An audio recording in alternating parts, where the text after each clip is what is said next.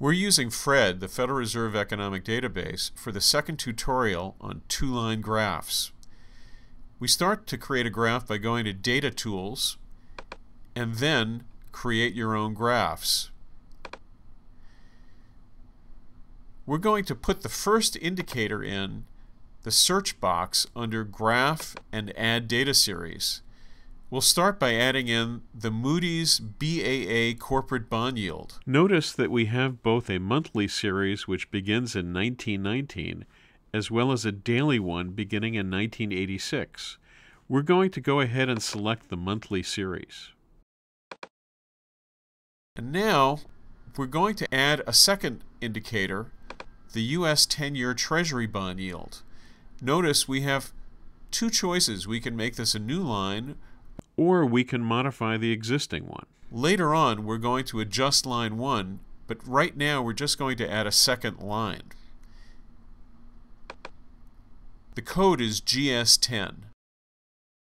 Notice the Treasury data has a shorter observation range and begins in April of 1953. There it is. For consistency, we'll redraw the graph so that both time series start when the Treasury data does. Notice the two lines move together in trend. They rise in trends from the 1950s to the late 1970s, and then they begin to fall. This is following the pattern of rising inflation and falling inflation over those decades. But if you look closely at the periods of recessions that are marked in gray bars, they don't quite move, move together. They actually move apart. To see that, we're going to remove the second line. By clicking the trash icon under Edit Data Series 2 and then clicking Remove.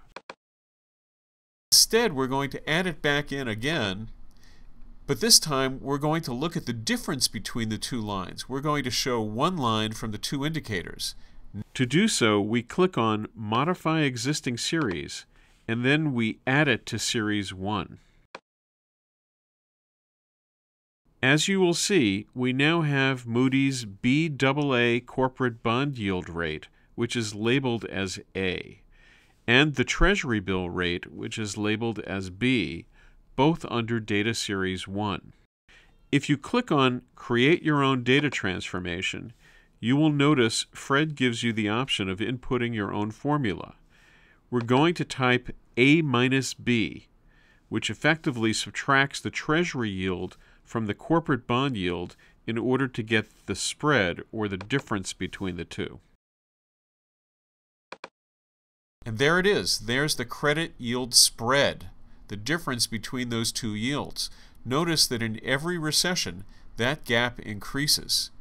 It's a sign that investors worry about corporate default risk during recessions, especially in the biggest post-war recession, the financial crisis of 2007-09. We like that graph, so we're going to apply the saved settings from the previous tutorial and make it look better. That's ready for submission, so now I'm going to export it as a PDF so I can save it to my computer. I do so by clicking on Export and then clicking Export as PDF.